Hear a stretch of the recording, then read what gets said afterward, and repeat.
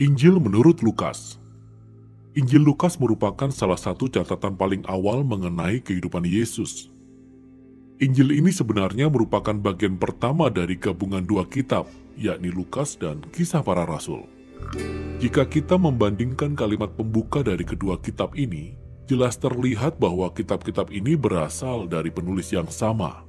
Ada petunjuk dalam kitab Kisah Para Rasul, serta dalam tradisi mula-mula yang menunjukkan bahwa penulisnya adalah Lukas, kawan seperjalanan dan rekan kerja Rasul Paulus. Lukas juga dikenal sebagai seorang dokter. Lukas mengawali tulisannya dengan pendahuluan yang menjelaskan bagaimana dan mengapa kitab ini ditulis. Dia mengakui di luar sana ada banyak catatan lainnya yang bagus tentang kehidupan Yesus, tetapi sebisa mungkin, ia ingin kembali pada tradisi saksi mata dari banyak murid Yesus yang mula-mula, supaya ia bisa menghasilkan apa yang ia sebut sebagai laporan yang teratur tentang hal-hal yang telah digenapi di tengah-tengah kita. Adapun kata "digenapi" menjadi alasan mengapa Lukas menulis laporannya.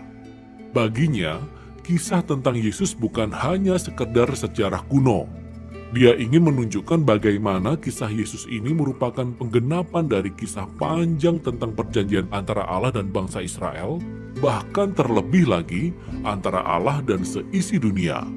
Susunan kitab ini cukup jelas. Ada pendahuluan panjang yang mengawali kisah tentang Yohanes Pembaptis dan Yesus, kemudian dari pasal 3 hingga pasal 9, Lukas menampilkan gambaran yang kuat tentang Yesus dan misinya di tempat asalnya, Galilea.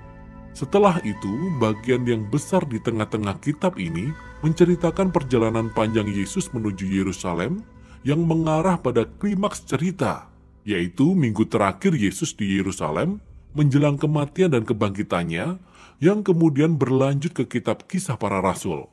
Dalam video ini, kita hanya akan berfokus pada paruh pertama Injil Lukas, Pendahuluan yang panjang dalam kitab ini menceritakan kemiripan antara kisah kelahiran Yohanes Pembaptis dan Yesus. Ada pasangan lanjut usia yaitu Imam Sakaria dan Elizabeth. Ada juga seorang gadis muda yang belum menikah, Maria dan Yusuf.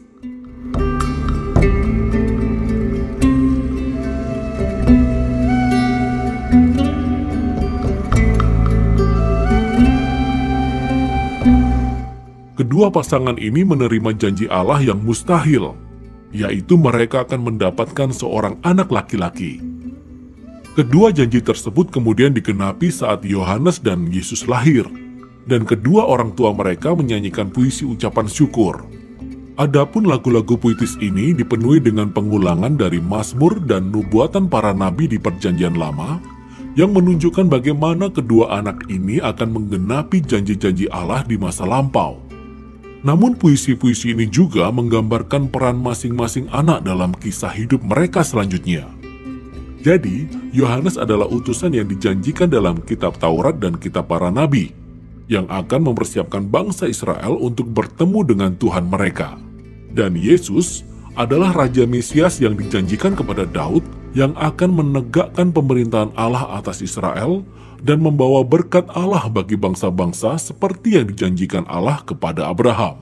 Setelah itu, Maria membawa Yesus ke bait Allah di Yerusalem untuk diserahkan kepada Allah. Dan di situ ada dua nabi yang sudah lanjut usia, Hana dan Simeon. Ketika mereka melihat Yesus, mereka mengenali siapa dia. Maka Simeon mengangkat pujiannya sebuah puisi yang terinspirasi dari Nabi Yesaya. Katanya, Anak ini adalah keselamatan dari Allah bagi Israel, dan dia akan menjadi terang bagi bangsa-bangsa.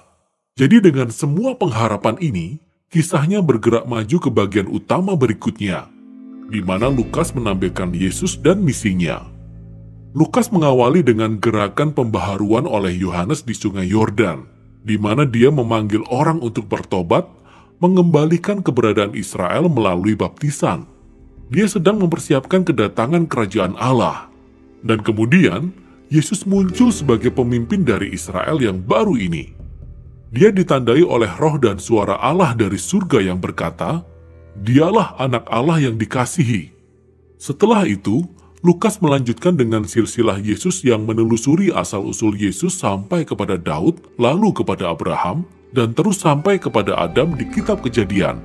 Di sini Lukas menyatakan bahwa Yesuslah Raja Mesias Israel yang akan membawa berkat Allah bukan hanya untuk Israel keturunan Abraham, tetapi juga untuk seluruh keturunan Adam, untuk seluruh umat manusia.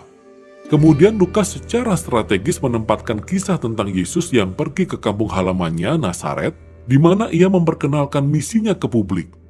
Dalam pertemuan di rumah ibadat, Yesus berdiri dan membaca dari gulungan kitab Yesaya, Katanya, roh Tuhan ada padaku untuk menyampaikan kabar baik kepada orang-orang miskin dan pembebasan kepada orang-orang tawanan, penglihatan bagi orang-orang buta, dan pembebasan bagi orang-orang yang tertindas.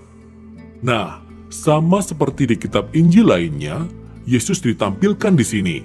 Dialah Raja Mesias yang membawa kabar baik tentang kerajaan Allah. Namun Lukas secara unik menyoroti dampak sosial dari misi Yesus jadi Yesus membawa pembebasan, kata Yunaninya adalah apesis, yang secara harfiah berarti melepaskan. Ini merujuk kepada praktek tahun Yobel yang dilakukan orang Yahudi kuno, seperti yang dijelaskan dalam Imamat 25. Ini adalah tahun di mana semua budak Israel dibebaskan, semua hutang dibatalkan, tanah yang sudah dijual dikembalikan kepada keluarga pemiliknya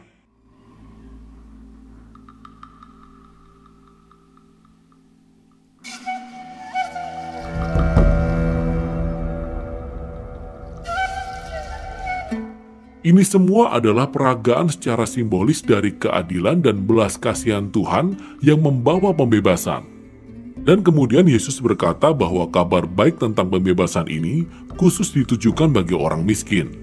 Adapun dalam perjanjian lama, orang-orang miskin atau dalam bahasa Ibrani-nya, ani, memiliki arti jauh lebih luas daripada sekedar orang yang tidak memiliki banyak uang. Artinya juga merujuk pada orang-orang dengan status sosial yang rendah dalam budaya mereka, seperti orang-orang cacat, para wanita, anak-anak, dan para lanjut usia, termasuk juga orang-orang yang dikucilkan masyarakat, seperti orang dari kelompok etnis lain atau orang yang pilihan hidupnya buruk, sehingga mereka ditempatkan di luar kalangan beragama yang dapat diterima. Yesus berkata bahwa kerajaan Allah menjadi kabar baik khususnya bagi orang-orang seperti ini. Lalu setelah ini, Lukas langsung menampilkan sekumpulan besar cerita yang menunjukkan seperti apakah kabar baik dari Yesus bagi orang miskin itu. Ini meliputi penyembuhan wanita yang terbaring sakit, atau laki-laki yang sakit kusta, atau seorang yang lumpuh ada juga kisah tentang bagaimana Yesus menyambut ke dalam komunitasnya seorang pemungut cukai seperti Lewi, yang secara materi tidaklah miskin, tetapi ia adalah orang yang dikucilkan masyarakat. Ada juga kisah Yesus mengampuni wanita pelacur. Lukas sedang menunjukkan bagaimana kerajaan Yesus membawa pemulihan dan memutarbalikkan seluruh keadaan hidup orang-orang ia memperluas kalangan orang-orang yang dipanggil untuk mengalami kuasa kesembuhan dari kerajaan Allah. Dan ketika misi yang dibawa Yesus menarik banyak pengikut, dia melakukan sesuatu yang bahkan lebih provokatif lagi. Yesus membentuk orang-orang ini menjadi Israel baru. Dengan menunjuk 12 murid sebagai pemimpin atas mereka, ini dapat disamakan dengan kedua belas suku dari bangsa Israel. Kemudian Yesus mengajarkan maklumatnya tentang kerajaan yang terbalik dari kerajaan dunia. Lukas menyebutnya sebagai khotbah di dataran. Lukas mengatakan, kasih Allah bagi orang-orang yang dikucilkan masyarakat dan orang miskin menunjukkan bahwa kerajaan Allah memutarbalikkan semua sistem nilai kita. Yesus hadir untuk membentuk umat Allah lainnya yang baru, yang akan menggenapi panggilan Yesus dengan menunjukkan kemurahan hati yang radikal dengan melayani orang miskin orang-orang yang akan memimpin dengan cara melayani dan hidup dengan membawa damai dan pengampunan. Orang-orang yang sangat religius tetapi menolak kemunafikan agama. Adapun visi kerajaan Yesus yang radikal yang telah mengklaim otoritas dari Allah itu mulai menimbulkan perlawanan dan perdebatan, khususnya dari para pemimpin agama Israel. Penjangkauannya terhadap orang-orang yang tak dapat dipercaya menjadi ancaman bagi tradisi agama dan rasa kemapanan sosial mereka. Oleh sebab itu, mereka mulai menuduh Yesus menghujat Allah. Dia pemabuk dan bergaul dengan orang berdosa. Dan bagian ini pun mencapai puncaknya ketika Yesus mengungkapkan misinya kepada para muridnya dengan suatu pernyataan baru. Yesus berkata, "Ya, dia adalah Raja Mesias dan dia akan mengukuhkan pemerintahannya atas Israel dengan kematiannya di Yerusalem, dengan menderita sebagai raja yang menjadi hamba, yang mati bagi dosa-dosa Israel, seperti tertulis dalam Yesaya 53. Lalu pernyataan yang mengejutkan ini dijabarkan dalam kisah selanjutnya ketika Yesus naik ke atas gunung bersama tiga orang muridnya. Lalu tiba-tiba Yesus berubah di depan mereka. Ia diselimuti oleh awan kemuliaan Allah yang berkata, Inilah anakku yang kupilih. Dan tampaklah Musa dan Elia. Dua nabi lainnya yang pernah menjumpai suara dan kehadiran Allah di atas gunung. Lukas memberitahu kita bahwa mereka berbicara dengan Yesus tentang tujuan kepergiannya, eksodusnya, yang akan digenapi di Yerusalem. Nah, kata Yunani eksodus dengan jelas merujuk pada kisah keluaran.